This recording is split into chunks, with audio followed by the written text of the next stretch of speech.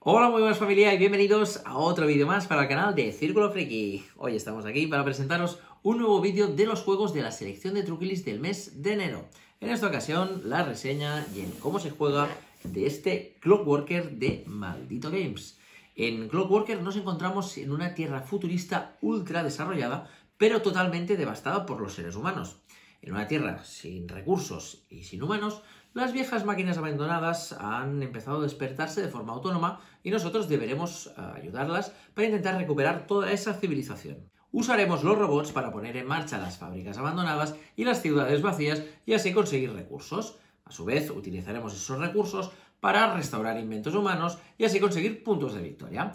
El jugador que consiga acumular más puntos de victoria conseguirá guiar a sus robots hacia esa nueva era. Un juego para 2 hasta 4 jugadores con una duración aproximada de unos 45 minutos y a partir de 12 años.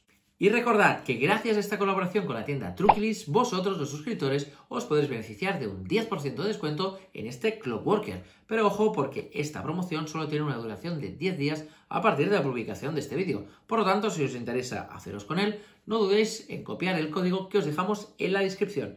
Y como viene siendo habitual, también os dejamos otro cupón de 5% de descuento en el resto de juegos de la tienda Truquilis. Y si os gustan los vídeos y promociones que os traemos para vosotros, no olvidéis suscribiros a nuestro canal.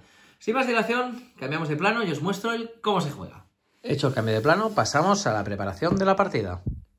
Lo primero que vamos a hacer será formar un mercado de cartas de artefacto. Yo os recomiendo que los pongáis tal y como se muestran aquí, que es tal y como se muestran en el manual, ya que en el momento de tener que consultar las habilidades, que lo tendréis que hacer muy probablemente, os resultará mucho más sencillo. De todas estas cartas hay dos copias, exceptuando la fila de arriba que solamente hay una copia de cada. Ah, en partidas a dos jugadores solamente utilizaríamos las que tuvieran el icono de dos jugadores. Posteriormente formaríamos un mercado de losetas de registro. Mezclaríamos el mazo, mostraríamos 5, tal y como hemos hecho en esta puesta en mesa, y por debajo de la loseta número 10 colocaríamos la loseta fin, esta de aquí. En partidas a dos jugadores la colocaríamos después de la sexta loseta y en partidas a tres jugadores la colocaríamos después de la octava loseta.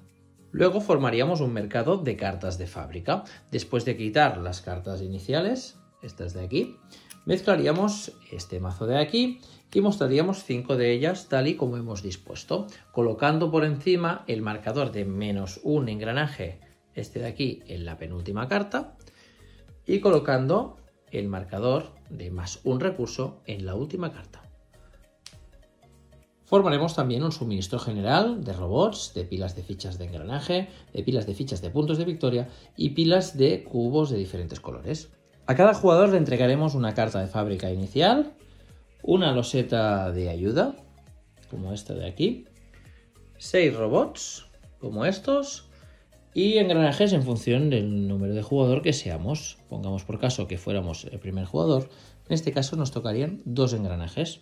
Al segundo jugador le tocarían también dos engranajes, al tercero le tocarían cuatro engranajes y al cuarto le tocarían cinco engranajes. En partidas a dos jugadores cogeríamos cuatro engranajes cada uno. Posteriormente rellenaremos los huecos de nuestra fábrica inicial con los robots. Y por último determinaríamos el jugador inicial, que sería el que haya reparado una máquina defectuosa más recientemente o bien al azar, y le entregaríamos el marcador del jugador inicial. Y ahora pasamos al desarrollo de la partida. Cada turno de juego se divide en dos fases. Primera fase, fase de recuperación. En esta fase cogeremos el robot situado más arriba de cada una de nuestras fábricas y cogeremos los recursos que se indiquen en dicha casilla. Si no hay robot, no pasa nada. Luego pasamos a la siguiente fase. Segunda fase, fase de acción. En esta fase deberemos elegir una entre estas seis acciones. Primera acción, extracción. Cogeríamos un robot extra de una de nuestras fábricas cogiendo el recurso pertinente pero siempre el que esté más arriba. Segunda acción, distribución. Colocaremos robots de nuestra reserva en una fábrica, tantos como queramos, pero siempre rellenando de arriba abajo. Cuando tengamos seis cartas, podremos rellenar dos fábricas simultáneamente.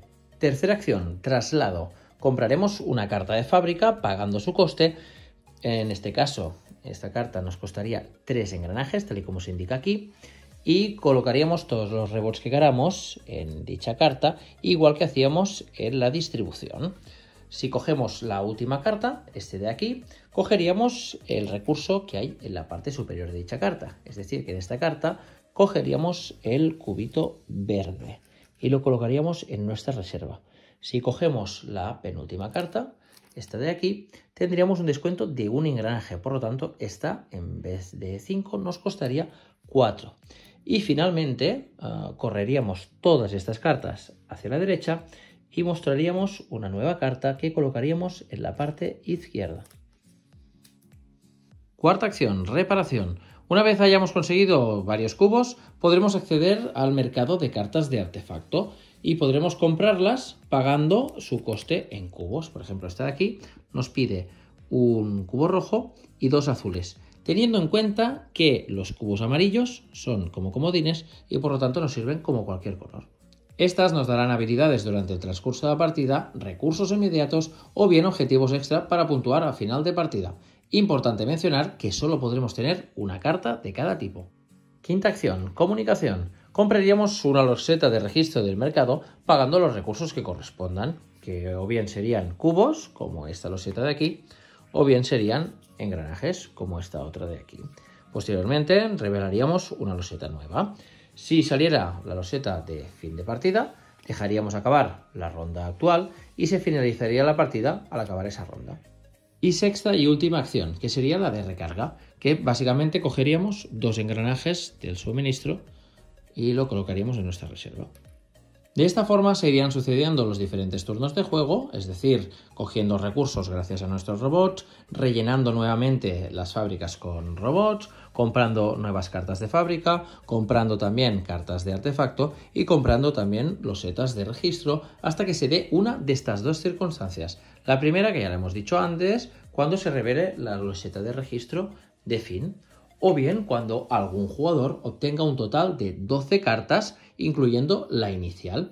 En los dos casos se dejará finalizar la ronda en curso para que todos los jugadores dispongan del mismo número de turnos y posteriormente se daría por finalizada la partida pasando al recuento de puntos en base a fichas de puntos de victoria, estas de aquí, puntos de victoria de las cartas de artefacto, las que se indican aquí, y las de objetivo de final de partida, y puntos de victoria de los setas de registro, los indicados aquí. El jugador con más puntos de victoria pues será declarado el ganador de la partida y en caso de empate el que tenga más cartas de fábrica y si persiste se comparte la victoria. Clockworker se trata de un juego de cartas familiar, rápido, dinámico y accesible para todo tipo de jugadores. Además se juega y se explica rápidamente, ya que en nuestro turno solo hay dos fases. Una primera fase de recoger robots y recursos y una segunda fase en la que realizaremos una entre seis acciones. Ya está, así hasta final de partida. Lógicamente la clave estará en cómo iremos realizando esas acciones durante el transcurso de la partida. Sin duda lo que más me ha gustado es que las cartas de artefacto nos dotarán de ciertas habilidades y objetivos especiales que nos permitirán desarrollar estrategias totalmente distintas respecto al resto de jugadores. Por lo tanto, nos interesará unir cartas de fábrica y de artefacto que nos permitan hacer un buen combo para así obtener la mayor puntuación. Debo decir que en un primer momento tuve la negativa sensación de que había un combo de cartas superior al resto, que era el de herramienta de sincronización y locomotora de vapor. Pero después de haber jugado varias partidas y corregir algún error de primera partida, ah, finalmente tuve la satisfactoria conclusión de que efectivamente había diferentes caminos igual de buenos para poder alzarse con la victoria. Personalmente valoro mucho este punto ya que le dota de una rejugabilidad extra superior al resto de juegos familiares de su categoría.